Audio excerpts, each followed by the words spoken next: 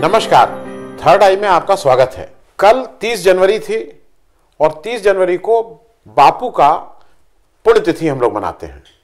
आज से बहत्तर साल पहले एक सिरफिरे व्यक्ति मैं बोलूँगा, ने बापू के सीने में तीन गोली दाग के उनकी हत्या कर दी थी। बापू ने जो मरते समय उनका अंतिम शब्द था, वो हे राम था। उन्होंने अपने आराध्य राम को याद किया था और हे राम था। आज बहत्तर साल बाद कल बापू के 30 जनवरी को पुण्यतिथि में वो हे राम से राम भक्त का सफ़र कैसे हुआ उस पर थोड़ी हम लोग चर्चा कर लें। कल एक राम भक्त जी आए, उनका पूरा नाम लेना आप शायद मुनासिब नहीं है क्योंकि ऐसा माना जा रहा है कि वो जुवैनल मतलब वो बच्चे हैं 18 साल से कम उनकी उम्र है तो इसलिए उनको हिंदुस्तान का कानून ये प्रोटेक्शन देता है कि उनका नाम और उनकी चेहरा न दिखाया जाए। हालाँकि उनका चेहरा तब तक बहुत हो गया था क्योंकि शुरू में पुलिस ने कहा था, वो उन्नीस साल के हैं। बाद में शायद इसलिए कि कुछ उनको मालूम नहीं। जो भी कारण हो, अब उनकी एज थोड़ी कम बताई जा रही है। बापू का ये सफ़र अभी ये बहत्तरवीं पे नहीं हुआ।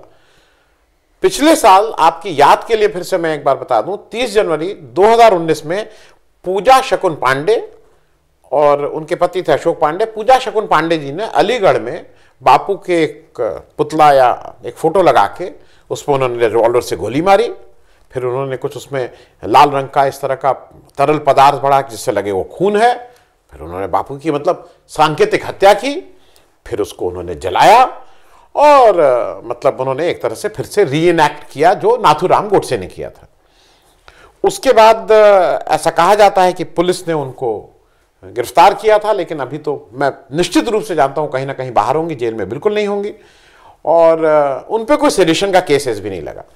इस देश में अभी पिछले हफ़्ते मतलब ये आप सब लोगों ने सुना होगा, लेकिन शायद इतने डिटेल में सोचा नहीं होगा, कर्नाटका में चौथी क्लास में पढ़ने वाले बच्चे फोर्थ स्टैंडर्ड में पढ़ने वाले शाहीन स्कूल के बच्चे, जिन्होंने कोई प्ले किया था, उस प्ले को इनेक्ट करने में कर्नाटका सरकार को लगा कि वो सेडिशन का केस है। मतलब वो देशद्रोह का केस चौथी क्लास में पढ़ने वाले बच्चों के ऊपर देशद्रोह का केस लगाया गया है। दूसरी तरफ़, कल की जो घटना हुई, बहुत ब्रीफली उस घटना पे, क्योंकि उस घटना से आप सब लोग वाकिफ हो चुके होंगे। टीवी पे इतना चला, पेपर में इतना आया, सोशल मीडिया पे चला। कल जामिया में एक ग्रुप इकट्ठा हुआ कि हम लोग, चूँकि बापू की पुण्यतिथि है तो यहाँ से राजघाट तक पैदल मार्च करेंगे, शांति यात्रा। और वो इकट्ठा हुआ, उसको पुलिस ने शायद परमिशन नहीं दी थी। उस समय एक बजकर चालीस मिनट पे एक युवक कहीं से निकलते हैं, जिनको हम अपने सुविधा के लिए, उनका नाम राम भक्त है, क्योंकि उन्होंने कहा भी, मैं राम भक्त के बाद उन्होंने कुछ नाम बताया। तो नाम कानूनन शायद लेना, हम लोग उनको राम भक्त कहेंगे। क्योंकि हे राम, आज से बहत्तर साल पहले, उसी हे राम से निकले हुए राम भक्त। तो राम भक्त जी ने देसी कट्टा निकाला, हवा में लहराया, पुलिस सामने खड़ी हुई थी, और उसके बाद उन्होंने गोली दाग दी। गोली एक छात्र को लगी। इसके पहले मैं बता दूँ कि राम भक्त जी क्या हैं। राम भक्त जी को इनिशियली कहा गया 19 साल के हैं, लेकिन बाद में उनकी क्लास टेंथ की मार्कशीट तुरंत निकाल दी गई, जिसमें बताया गया कि 8 अप्रैल 2002 में उनका जन्म हुआ था। तो अभी वो 17 साल 9 महीने के ही हुए हैं। ये दाऊजी मोहम्मल, जो जेवर का एक गाँव है, ग्रेटर नोएडा में, वहाँ के रहने वाले हैं। पुलिस का ये सब अब मैं, पुलिस के मतलब जो पेपर में छपी उसके हवाले से बोल रहा हूँ। कि ऐसा कहा गया कि हाईली रेडिकलाइज्ड है। इन्होंने अपनी कुछ फ़ोटो बजरंग दल के और कुछ भाजपा के लोग जो हैं, उनके साथ इनकी फेसबुक में कुछ फ़ोटो भी शेयर की गई हैं। टेलीग्राफ की रिपोर्ट के अनुसार ये भाई साहब जो हैं, भाई साहब या जो बच्चे कहे जाएँगे मासूम जो है, मैं ये बोलूँगा, ये जो मासूम है, राम भक्त मासूम टेलीग्राफ की रिपोर्ट के अनुसार जो सुबोध सिंह का की हत्या हुई थी, अगर आपकी याद दिला दूँ, दिसंबर 2018 में जब उनको एक भीड़ ने मार दिया था, जब वो एक बड़े दंगे को रोक, रोकने के लिए गए थे, उस पुलिस इंस्पेक्टर की हत्या के समय भी ऐसा कहा जाता है कि उस दंगे में भी इनका कुछ रोल था। ये टेलीग्राफ की रिपोर्ट कहती है। वो वही दंगा था जहाँ के योगेश राज और शिखर अग्रवाल, जिन लोगों ने, जिस भीड़ में देखे गए थे, जिसने सुबोध कुमार सिंह जी को मारा था, आज वो जेल से बाहर आ गए हैं जमानत पे और जब वो बाहर आए थे, उस पर भी मैंने एक स्टोरी की थी, मैंने एक एपिसोड किया था। उनकी खूब ठीक से स्वागत हुआ। बाजे गाजे के साथ। जिस लड़के को गोली लगी, उसका नाम शादाब फारूक है, तेईस वर्षीय है। अंग्रेज़ी में ग्रेजुएशन करने के बाद मास कॉम में पोस्ट ग्रेजुएशन कर रहे हैं, उसके दूसरे सेमेस्टर में है। डोडा, जम्मू कश्मीर के रहने वाले हैं, पिता इनके शिक्षक हैं। और एक इत्तेफाक की बात यह है कि इनका जन्मदिन 15 अगस्त को ही हुआ है। मतलब 15 अगस्त इनकी डेट ऑफ़ बर्थ है। इनके बारे में ये कहा गया, जो इनके साथ के लोगों ने बताया कि बहुत अच्छे ड्रामा करते हैं। वॉइस ओवर आर्टिस्ट अच्छे हैं सिंगर हैं और उभरते हुए फोटोग्राफर हैं। इनके हाथ में गोली लगी, निशाना लगाया था उसने, राम भक्त जी ने, मासूम ने इनके ऊपर। वो तो इनकी जान बचनी थी, इसलिए इनके हाथ पे लगी। वो गोली इनके कहीं और भी लग सकती थी, जहाँ से ये फेटल हो सकती थी। अब संवेदना जरा पुलिस की देख लीजिए। फारूक साहब को बैरिकेड खोला नहीं पुलिस ने। पुलिस का बाद में कहना है बहुत कस के वो एक दूसरे से हम बांधे हुए थे। इनको उसको ऊपर से लांग के, ऊपर से कूद के जाना पड़ा। ये पहले होली फैमिली हॉस्पिटल में गए। वहाँ से डॉक्टर ने इनको एम्स के ट्रॉमा सेंटर था, वहाँ रेफर किया और एक चालीस पे करीब गोली लगी थी और पाँच बजे इनका ऑपरेशन करके वो गोली जहाँ पे थी वो निकाली गई या गोली जो भी फंस गई थी वो हुआ। ये जो राम भक्त जी हैं, इनके फेसबुक अकाउंट में आप देख लीजिए, इन्होंने अजीब अजीब बातें लिखी हैं कि हिंदुओं का मसीहा है, फिर उन्होंने कहा, आओ तुम्हें आज़ादी दे दें। ये सब आप लोग देख चुके होंगे, हम भी इसको मतलब और वो फेसबुक अकाउंट वो बंद कर दिया गया। अब वो बंद किसी के कहने से किया गया, या फेसबुक वालों ने बंद कर दिया, वो अलग बात है, लेकिन वो फेसबुक बंद कर दिया गया। अब आप जाइए तो आप उनके फेसबुक को नहीं दे सकते हैं। उसके कुछ स्क्रीन हैं जो आपके साथ शेयर किए गए हैं। ये सारा कुछ हुआ क्यों? इसकी अलग अलग तरह से लोग अपनी अपनी व्याख्या कर रहे हैं, ये सारा कुछ हुआ क्यों? जो मुझे लगता है मतलब मेरे अनुसार सबसे पहली बात दिल्ली इलेक्शन है। क्योंकि दिल्ली इलेक्शन के समय बीजेपी का यह डिस्परेशन हो गया है कि वो क्या बोल रही है, क्या कह रही है, उसको शायद खुद ही समझ में नहीं आ रहा है। एक आशंका यह भी है कि किसी तरह से वो शाहीन बाग के लोगों को भड़काने की कोशिश की जा रही है, किसी तरह से कुछ हो जाए जिससे वायलेंस हो जाए। इसकी सीक्वेंस में चार पाँच लोगों के नाम बार बार लिए जा रहे हैं, लेकिन ये चार पाँच वो नाम है जिनका वीडियो रिकॉर्ड हुआ है, जो वाइडली सर्कुलेटेड है, लेकिन मोर लेस इसी तरह की भाषा सारे बीजेपी के जो उम्मीदवार हैं, वो भी बोल रहे हैं। कपिल मिश्रा जी, जो बीजेपी के उम्मीदवार हैं, आम आदमी पार्टी छोड़ के आए हैं, वो एक बार बार एक चीज़ कह रहे हैं। वो ये कह रहे हैं कि 8 फरवरी को इंडिया पाकिस्तान का मैच होगा। 8 फरवरी मतलब जिस दिन वोट पड़ेगा, उस दिन इंडिया वर्सेस पाकिस्तान है। और ऑब्वियसली ये बात मानी हुई है कि कपिल मिश्रा तो ये माने ही हुए हैं कि वो इंडिया है। मतलब भाजपा इंडिया है, ये तो भाजपा मानती ही है। अब जो भी भाजपा के विरोध में है, वो पाकिस्तान है, देशद्रोही है। तो ये कपिल मिश्रा जी का बयान बार बार आ रहा था। अनुराग ठाकुर का मतलब देश के मंत्री हैं। पहली को बजट आ रहा है, वित्त मंत्री हैं। और उससे पहले वो बीसीसीआई के बहुत इंपॉर्टेंट सर्वे सर्वा थे क्रिकेट चलाते थे। और उनकी जरा मानसिकता सोच लीजिए, वो तो आप सब लोगों ने देखा होगा, दोनों हाथ उठा उठा के देश के गद्दारों को, देश के गद्दारों को, और एक बार नहीं, उसको रिपीट करवा रहे थे। और आगे का स्लोगन वो लोगों से बुलवा रहे थे कि गोली मारो। अब शायद वो गाली देने पे भी रोक है तो वो, आप लोग जानते हैं क्या, कौन सा नारा लगवा रहे थे। तो मतलब अगर आप गोली मार दे रहे हैं तो ये कह रहे हैं कि आप गोली मारिए। और अच्छा ये तो पहले ही से सेल्फ सर्टिफाइड है। अपना सर्टिफिकेट खुद दे दिया गया कि बीजेपी देशभक्त, और ये खुद ही कपिल मिश्रा जी ने कह दिया है कि जो उधर वोट करेगा, बीजेपी को छोड़ के जो वोट करेगा, वो पाकिस्तानी है तो वो कहे हुए हैं। अनुराग ठाकुर जी का कहना है कि भाई, जो गद्दार है, उनको गोली मार दो। उधर एक परवेश वर्मा जी हैं, वो परवेश हैं, साहब सिंह वर्मा के लड़के हैं, साहब सिंह वर्मा अच्छे आदमी थे बीजेपी के बढ़िया नेता थे। अब उनके लड़के किस तरह का कर रहे हैं, वो खुलेआम कह रहे हैं कि अगर आपने मतलब बीजेपी को छोड़ के इनको जिताया किसी और को। तो आपके घर में घुस के मतलब वो एक अजीब तरह की बात कर रहे हैं कि वो घुस के आपकी लड़कियों को उठा ले जाएँगे, आपकी माताओं को उठा ले जाएँगे। कौन सी बात कर रहे हो? एमपी हो इलेक्टेड एमपी हो। और इन सबके जो लीडर बोलिए या जो इन सबके प्रातः वंदनी प्रातः स्मरणीय जो हैं, अमित शाह साहब हैं, वो अपने भाषण में कह रहे हैं कि अब आप ये बताइए कि आप शाहीन बाग के साथ रहेंगे कि भारत माता के साथ रहेंगे?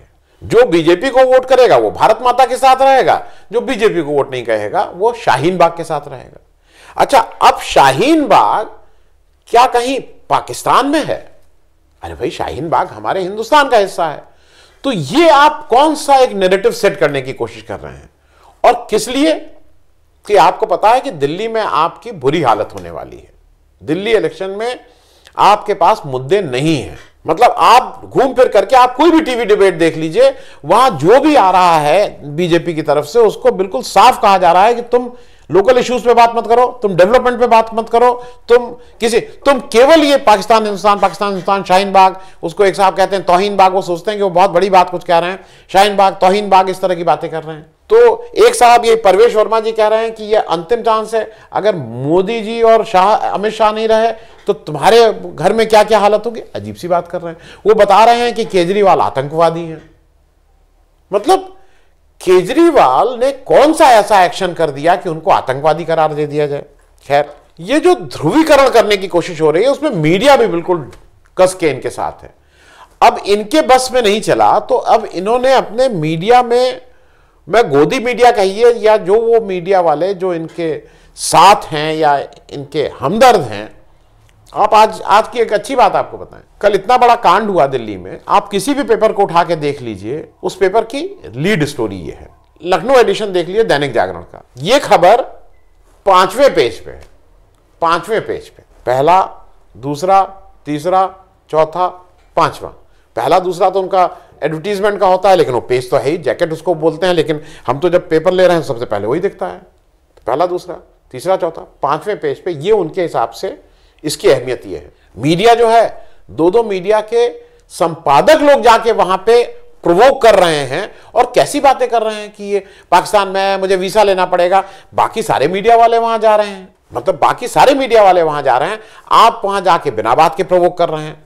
अब तीसरी बात हम लोग थोड़ी देर कर लें। दिल्ली पुलिस की। अब आप एक चीज़ ये बताइए, दिल्ली पुलिस सीधे सीधे गृह मंत्रालय के अंडर है। मतलब उनके जो सबसे बड़े जो मंत्री हैं, वो अमित शाह साहब हैं।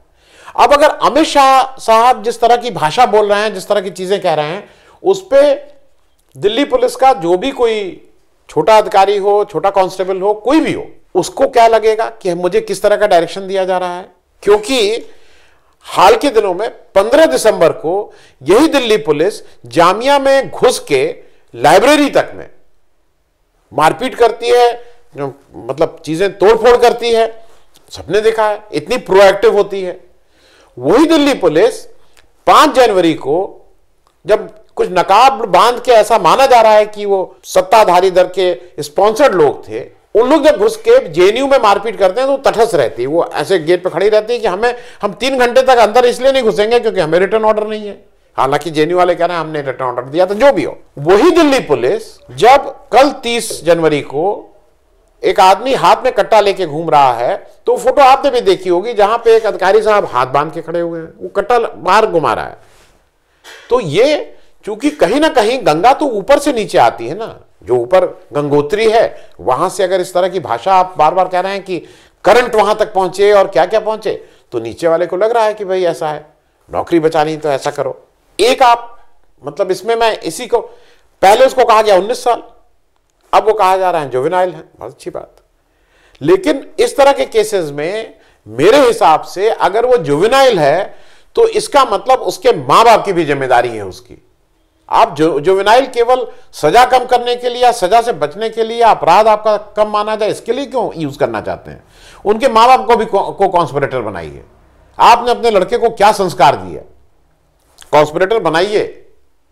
और बिल्कुल आप इसमें उनको करिए, क्योंकि माँ बाप की ज़िम्मेदारी है। अगर लड़का इस तरह का कह रहा है अट्ठारह साल से ऊपर है तो माँ बाप कह सकते हैं, मेरी ज़िम्मेदारी नहीं। अठारह साल से कम है, जहाँ पे उसको इस बात का लाभ मिल रहा है कि वो मासूम है तो उस मासूमियत को जो देख रेख कर रहे हैं, उसकी परवरिश कर रहे हैं, उनके ऊपर भी कोई ना कोई कार्रवाई होनी चाहिए।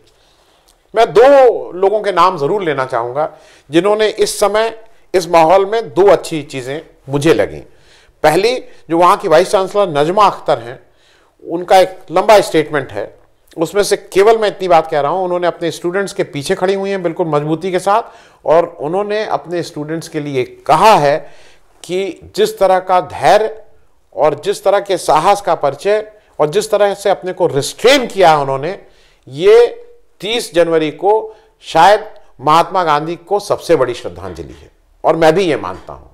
दूसरा एक आदमी का नाम और आवश्यक लेना है, जो अभी एक केस हुआ जिसमें आप सब लोगों ने देखा होगा कि अर्णब गोस्वामी जी एक इंडिगो की फ़्लाइट से बंबई से लखनऊ आ रहे थे और उनको एक कुणाल कामरा जी हैं, जो स्टैंड अप कॉमेडियन हैं और कलाकार हैं। उन्होंने उनसे प्लेन में कुछ सवाल किए, जो तीखे सवाल थे और शायद बहुत गुड टेस्ट में लोग कह सकते हैं, नहीं थे। उनको तुरंत मतलब ये सब शाम को हुआ है और सुबह तक उनको इंडिगो ने नो फ्लाई लिस्ट में डाल दिया मतलब छह महीने तक वो नहीं कर सकते हैं। भारत के मंत्री उसमें कूद गए। उन्होंने कहा कि इनको सारे, मैं तो कर रहा हूँ, सारी एयरलाइंस को कर देना चाहिए। अब जब मंत्री जी ने कह दिया तो एयर इंडिया को करना ही था, फिर गो एयरलाइंस ने भी कर दिया शायद, और स्पाइस जेट ने भी कर दिया, बाकी एयरलाइंस को करना ही है। और इसको एक प्रक्रिया होती है, मैं उस डिटेल में नहीं जा रहा हूँ, मैंने सोचा था कभी डिटेल में करूँगा, लेकिन मौका नहीं मिला। ये नो फ्लाई करने के भी level one level two level three charges होते हैं, उसकी एक प्रक्रिया होती है। इस पायलट रोहित मटैती जो थे, उस six C five three one seven जहाज़ के जो कमांडर थे, उन्होंने एक लिखित ईमेल जो आज सारे पेपर में उपलब्ध है उन्होंने हिम्मत के साथ इसको लिखा और उन्होंने साफ़ साफ़ कहा है कि कुणाल कामराज जी ने ऐसा कुछ काम नहीं किया था कि उनको लेवल वन का ऑफेंस माना जाए और उनको नो फ्लाई लिस्ट में डाला जाए। उन्होंने ये भी लिखा कि इससे ज़्यादा बदमाशी और इससे ज़्यादा दुर्व्यवहार बहुत बार पहले भी हो चुका है, लेकिन शायद कुछ लोग जो ज़्यादा प्रिवलेज्ड हैं उनके क्या स्टैंडर्ड्स फ़र्क हैं? उन्होंने अपनी एयरलाइन से पूछा है कि वो मुझे कृपया करके बता दीजिए। इसमें ज़्यादा प्रिवलेज अर्णब गोस्वामी है। तो अर्णब गोस्वामी आपके गोदी मीडिया के मतलब सबसे नवरत्नों में एक हैं। उनके साथ अगर कोई अनकंफर्टेबल क्वेश्चन और जो शायद पूछने की स्टाइल ठीक ना हो, पूछ लेता है तो उसको नो फ्लाई लिस्ट में डाल दिया जाए। लेकिन आपके मंत्री उसके पीछे लग जाते हैं। लेकिन इसी जगह एक मीडिया का आदमी, रवीश कुमार का नाम ले रहा हूँ, उसको मैक्से से अवार्ड मिला है। आपकी सरकार में, चाहे वो प्रधानमंत्री हो, चाहे कोई मंत्री हो, उनको क्या एक बार किसी ने किसी ने भी बधाई देने का काम किया है? मैक्से से सम्मान, अंतर्राष्ट्रीय सम्मान है, जो हमारे एक भारतीय पत्रकार को मिला है। इतनी मतलब इसको क्या बोलेंगे? इतनी संवेदना या इतनी बेसिक कर्टसी भी किसी ने दिखाने की कोशिश नहीं की है। अर्णब गोस्वामी के केस में नो फ्लाई में डाल दिया गया है। अंत में अपनी बात इसी बात से कहूँगा कि जब देश का बंटवारा हुआ तो महात्मा गांधी को एक पार्टी विशेष, एक वर्ग विशेष, उनको पाकिस्तान का हमदर्द और जिन्ना की औलाद कहता था। आज दुनिया में गांधी के रास्ते पे सबको चलना है। आज तीस जनवरी को हमारे प्रधानमंत्री जी भी राजघाट पे जाके अपना सिर नवाते हैं उनके सामने और दुनिया राष्ट्र में कहते हैं कि हमें गांधी जी के पद चिन्हों पर चलना है। कहना यह है कि आज जिनको कहा जा रहा है कि आप पाकिस्तानी, आप देशद्रोही, आप क्या क्या, हो सकता है आने वाला समय जो ये सारे लोग जो इस समय अपनी बात कहने की हिम्मत कर रहे हैं, उनको शायद याद रखे, क्योंकि जब कुछ इस तरह की समस्या थी तो वो कम से कम खड़े होकर अपनी बात कहे थे। धन्यवाद। तो हमारा ये कार्यक्रम अच्छा लगा तो कृपया सब्सक्राइब करें और साथ में वो छोटी घंटी भी दबा दें, जिससे आपको जब भी कोई नया वीडियो, नया एपिसोड अपलोड हो तो आपको उसकी सूचना मिले